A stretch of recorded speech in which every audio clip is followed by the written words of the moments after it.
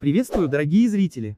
Перед просмотром хотелось бы вас попросить подписаться на канал, ведь мы стараемся для вас. А мы начинаем. В новом выпуске шоу «Дуэта» на канале «Россия» один Дава спел с Мари Краймбрери. Сегодня рэпер признался исполнительнице в чувствах, пригласив ее на свидание. Что же ответила артистка? Похоже, 28-летний Дава всерьез заинтересовался Краймбрери. Рэпер публично попросил певицу встретиться с ним в романтической обстановке.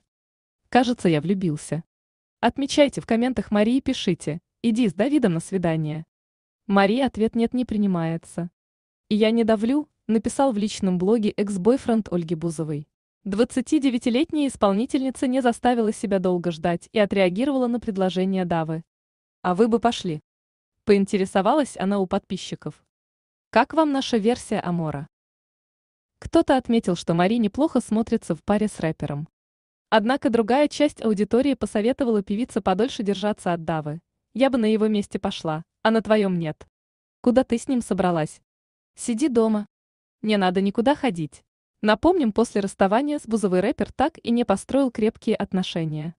А Краймбрери чуть было не вышла замуж за человека, с которым встречалась несколько лет. В последний момент звезда поняла, что пока не готова связать себя узами брака. Четыре раза делали предложение руки и сердца. Один раз даже согласилась, а потом что-то не пошло. Мне кажется, классно официально расписываться в тот момент, когда вы понимаете, что хотите совместных детей. Я не дам повода даже поцеловаться с человеком, если не буду понимать, что у него серьезное намерение. Такие отношения в моей жизни были только дважды. Самая долгая связь длилась 7 лет, откровенничала Мари.